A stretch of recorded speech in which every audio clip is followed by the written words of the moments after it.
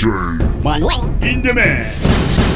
Si alguno quiere venir en pos de mí, debe negarse a sí mismo y tomar su cruz y seguirme. Porque quien quiera salvar su alma la perderá, pero quien pierda su alma por mí la encontrará. Pues de qué le servirá al hombre ganar el mundo entero si pierde su alma? ¿Qué podrá dar el hombre a cambio de su alma? Porque el Hijo del Hombre vendrá en la gloria de su Padre con sus ángeles y entonces pagará a cada uno de acuerdo a su conducta. No es un Dios de muertos, sino de vivos.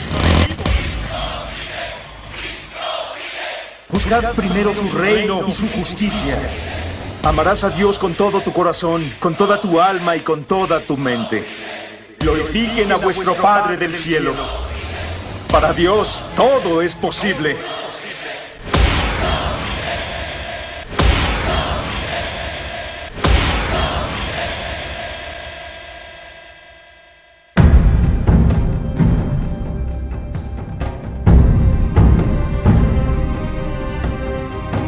En el cielo y en la tierra me ha sido dado.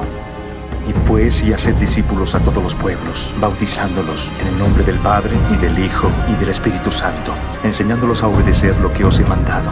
Y yo estoy con vosotros todos los días,